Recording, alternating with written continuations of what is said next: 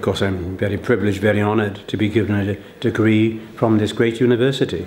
It's the successor to the University of Wales. It's got 22,000 young people. Uh, the graduates today have gone out into this world. They've, they've been treated brilliantly by the university, had a great education.